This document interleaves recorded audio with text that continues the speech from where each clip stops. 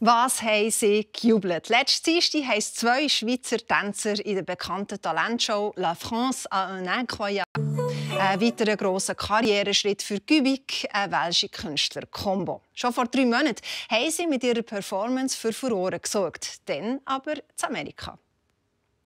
Ein anderer Musiker, der zurzeit auch gerade ein Ramba Zamba macht, ist der Baschi. Er hat sich zur Vorpremiere der neuen deutschen Komödie 25 km/h, die am Donnerstag unseren Kinos anläuft, auf das Töffli geschwungen. Zusammen mit einem Haufen anderen Fans vom legendären Zweiräder hat er Zürcher Innenstadt unsicher gemacht. Und wir geben morgen wieder für euch Vollgas. Dann begrüßt euch an meiner Stelle der charmante Salar Barampuri. Bis dann, auf Wiedersehen und einen schönen Abend.